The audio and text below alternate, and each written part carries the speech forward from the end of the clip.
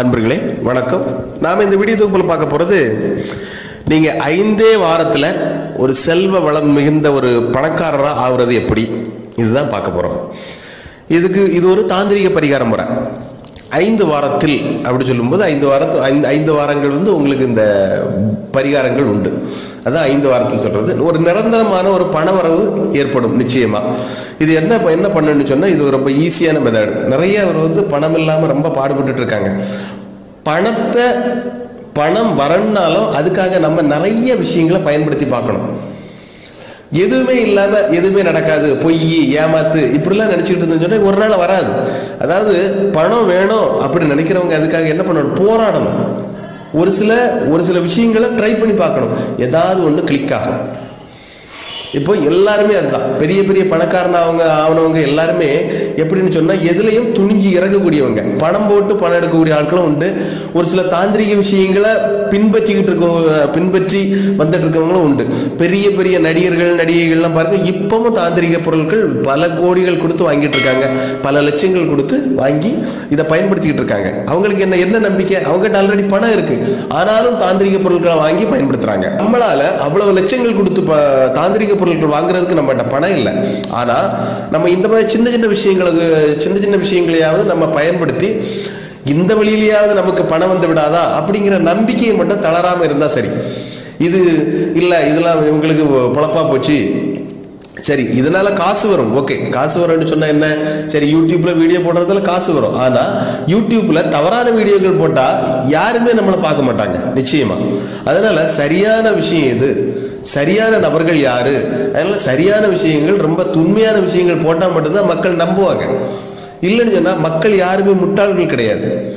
சரியான விஷயங்களை போடணும். அதனால தான் யாருமே போடாத விஷயங்கள் யாருமே சொல்லாத விஷயங்களை வந்து நம்ம சொல்கிறோம் தேடி பிடிச்சி ஒவ்வொரு விஷயங்கள் அதுக்காக ஒவ்வொரு இடமும் அலைஞ்சி இப்படி பல விஷயங்கள் உண்டு. நம்ம எக்ஸ்பீரியன்ஸ் ஏன்னா எல்லாருமே ஈஸியாக நம்ம கூட இருந்து பார்த்தவங்க மாதிரியே சொல்லிடுவாங்க முத்துப்பாண்டி வைத்தரா ஓ இவருக்கு என்ன இவரு வெளிநாட்டு ஆட்களை தான் படிப்பாரு. உள்ளூர் ஆட்களுக்கு ஃபோன் எடுக்க மாட்டார் அப்படிலாம் சொல்லுவாங்க. நான் இது வரைக்கும் ஃபோனை எடுக்க எடுக்க எடுக்கிறதே கிடையாது. ஏன்னா நமக்கு வந்து டைம் இல்லாத ஒரு சூழல். ஃபுல்லாக வெளியூர் சுற்றுப்பயணத்தில் இருப்போம் ஏதாவது ஆட்களை சந்திக்கணும் வாங்கணும் புது புது விஷயங்களை படிக்கணும் அப்படிங்கிற எண்ணத்திலே தான் ஓடிக்கிட்டு இருக்கிறது. நமக்கு இதுக்கு வந்து என்கிட்ட பணம் இல்லாமல் நான் இந்த மாதிரி விஷயங்களை பண்ண முடியாது. எதையும் வெளிப்படையாக சொல்ல முடியாது. அதே போல் ஒரு தெய்வப்படி இல்லாமல் பல மாந்திரிக தாந்திரிக விஷயங்களை நாங்கள் வெளியே கொடுக்க முடியாது. ஒரு குருவார் இருந்து போதிக்கக்கூடிய அளவுக்கு ஒரு பக்குவம் எனக்கு அந்த தெய்வம் தந்ததால தான் நான் மற்றவங்களுக்கு சொல்றேன். அதனால எனக்கு எந்த ஒரு சாபமும் வரல தோஷங்களும் வரல. அதனால நான் இந்த பா- தாந்திரிக விஷயங்கள் தவறாம நீங்க பயன்படுத்தி பாருங்க. நானும் பயன்படுத்துவேன். ஏன்னா நமக்கும் பணம் தேவை. உங்களுக்கு மட்டும்தான் பணம் தேவைன்னு இல்லை. எல்லாத்துக்குமே பணம் தேவை. அப்ப இந்த தாந்திரிக விஷயங்களை நீங்க ஒரு டைம் பண்ணி பார்க்குறதுல உங்களுக்கு ஒன்றும் ரொம்ப கொஞ்சம் போல பொருட்களை வச்சு பண்ண போறீங்க. ஒரு பத்து ரூபா இருபது ரூபா செலவாகும். அதில் வந்து நம்ம முயற்சி பண்ணி பார்க்கறதுல தவறே இல்லை. ஒரு சில நேரம் முயற்சி பண்ணி பார்த்து அந்த தாந்திரிக விஷயங்கள் நடந்துட்டால் யாருக்கு நல்லது? உங்களுக்கு தான் நல்லது. அதனால் சின்ன சின்ன விஷயங்களில் கூட உங்கள் பகுத்தறிவு காட்டுறது வந்து ஒரு தவறான அபிப்பிராயங்கள். அதனால் நல்ல விதமாக பாருங்கள் எதுலேயுமே நம்பிக்கை வைங்க. நம்பிக்கை இருந்தால் மட்டும்தான் அந்த காரியங்களில் வந்து நம்ம வந்து சாதிக்க முடியும். நிச்சயமாக இந்த தாந்திரிக விஷயங்களை பயன்படுத்தி பாருங்கள் ரொம்ப நல்லா இருக்கும். நான் தாந்திரிகத்தை சொல்கிறேன் புதன்கிழமை காலையில் ஆறு மணிலேருந்து ஏழு மணிக்குள்ள. காலையில் ஆறு மணிலேருந்து ஏழு மணிக்குள்ள. ஒரு ஸ்பூன் கொஞ்சம் போல் ஒ- கொஞ்சம் போல் ஒரு கைப்பிடி அளவு இல்லை ஒரு ஸ்பூன் வெந்தயம் இருக்கு இல்லையா? வெந்தயத்தை எடுத்து வெள்ளை துணி எடுத்துக்கங்க. ஒரு ஸ்பூன் வெந்தயத்தை எடுத்து வெள்ளை துணிக்குள்ளே போட்டு வெள்ளை துணியை முடிஞ்சு வச்சுக்கோங்க. முடிஞ்சுனா கட்டி வச்சுக்கோங்க. கட்டி வச்சுக்கிட்டு உங்கள் பூஜை அறை இருக்கு இல்லையா? பூஜை அறையில் காலையில் ஆறு மணிலேருந்து ஏழு மணி வரைக்கும் கட்டாயம் விளக்கெறியணும். இது என்ன பண்ணணும்? புதன்கிழமை பண்ணணும்.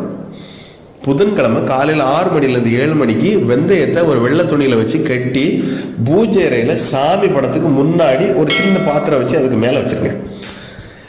நீங்கள் பண்ண வேண்டியது புதன்கிழமை ஆறு மணிலேருந்து ஏழு மணிக்குள்ளே நீங்கள் அதில் ஒரு கால் மணி நேரம் நீங்கள் பண்ண வேண்டியது. உங்களுக்கு என்ன தேவை? இதை வந்து உங்கள் தெய்வத்துக்கிட்ட கேட்கணும். எப்படி கேட்கணும்னா அந்த முடிஞ்சு வச்சுருக்கீங்க இல்லையா? அந்த வெள்ளை துணி.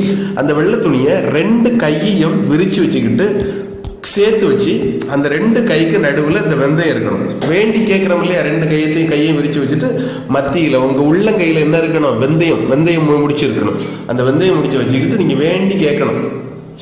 அம்மா எனக்கு ஒரு நிரந்தர செல்வ வரவை தரணும். அம்மான்னு சொன்னா அம்மா ஐயான்னு சொன்னா ஐயா. எந்த தெய்வத்தை வணங்குறீங்களோ உங்க குல தெய்வத்தை நினைச்சு வணங்குங்க. இந்த வெந்தயத்தை வச்சுக்கிட்டு நீங்க ஒவ்வொரு புதன்கிழமையும் நீங்க தினமும் பண்ணா கூட பிரச்சனை இல்லை.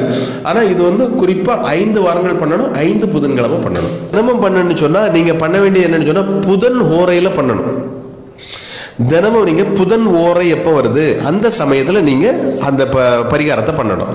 இப்போ புதன்கிழமை ஆறு மணிலேருந்து ஏழு மணி புதன் புதன் ஓரை வரும். அந்த சமயத்துல புதன் ஓரையில நீங்க ஒரு கால் மணி நேரம் இருந்து வேண்டி வணங்கணும். உங்களுக்கு என்னென்ன தேவைகள் இருக்கு எல்லா தேவைகளையும் கேளுங்க. சாமி கிட்ட கேட்கறதுல ஒரு தவறே கிடையாது. எந்த ஒரு விஷயத்தையும் சாமி கிட்ட துணிஞ்சு நீங்க கேட்கலாம்.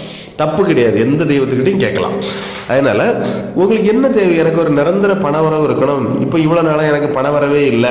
நிச்சயமாக என்னோட தொல்லைகள்லாம் நீங்களும் என்னோட கஷ்டங்கள்லாம் நீங்கள் எனக்கு ஒரு நிரந்தரமான பணவரவை நீங்கள் ஏற்படுத்தி தரணும். அதுக்கு என்னென்ன விஷயங்கள் உண்டோ என்னென்ன வாய்ப்புகள் உண்டோ அதில் தான் நான் வந்து இறங்குறதுக்கு தயாராக இருக்கிறேன். இப்படிங்கிறது இப்படிப்பட்ட விஷயங்களை வந்து நீங்கள் வேண்டி கேட்கணும். அதாவது வாயுள்ள புள்ள தான் பிழைக்கும். தெய்வத்துக்கிட்டே என்னைக்கும் தெய்வத்துக்கிட்ட வேண்டி வணங்கக்கூடிய விஷயத்த நீங்கள் ஒரு விஷயமா வச்சுக்கணும். உங்களுக்கு அந்த ஒரு ஐடியா கிடைக்கணும்.